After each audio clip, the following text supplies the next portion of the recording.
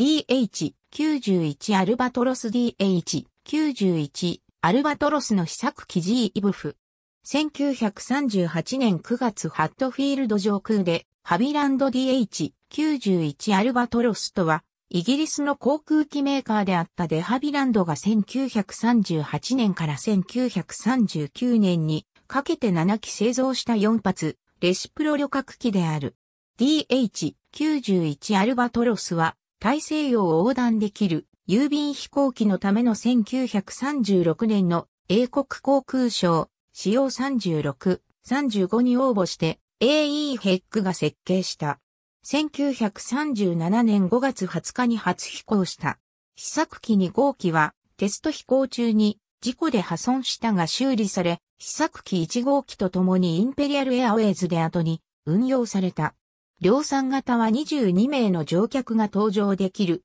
旅客機として生産されることになった。しかし、第二次世界大戦が勃発し、イギリス空軍の連絡機として徴用された。生産された7機すべてが軍用機となったが、5機が破壊され、残された2機も1943年9月に廃棄処分された。そのため、いずれの機体も白名であった。ファラデー1939年8月に郵便機型がファラデーと命名されインペリアルエアウェイズに納入され、登録記号 G イブフが与えられた。この機体は1940年の再編時に BOAC へ移管されたが、A 空軍に挑発され、シリアル番号 AX903 を与えられて、A 空軍第271飛行隊により運用された。本機は1941年8月11日にレイキャビックで着陸事故を起こした後で廃棄された。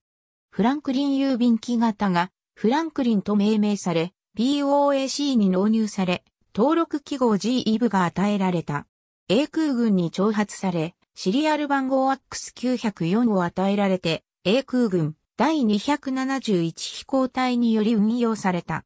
本機は1942年4月7日に、レイキャビクで着陸時に膠着装置が折れて破壊された。フロビシャー1938年に旅客機型がフロビシャーと命名されインペリアルエアウェイズに納入され、登録記号 G やフディが与えられた。この機体は1940年12月20日のウィットチャーチ空港へのドイツ軍の攻撃により地上で破壊された。ファルコン1938年に旅客機型がファルコンと命名されインペリアルエアウェイズに納入され、登録記号 G やフッジが与えられた。この機体は1943年9月に廃棄された。フォーテューナ1939年に旅客機型がフォーテューナと命名されインペリアルエアウェイズに納入され、登録記号 G やフドックが与えられた。この機体は1943年7月6日にアイルランドのシャノン空港近辺に富士帰し、破壊された。フィンガル1939年に旅客機型がフィンガルと命名されインペリアルエアウェイズに納入され、登録記号 G やフディルが与えられた。この機体は1940年10月6日にイングランドのグロスタシャー、パックルチャーチ近辺に富士帰し、破壊された。フィオナ1939年に旅客機型が、フィオナと命名されインペリアルエアウェイズに納入され、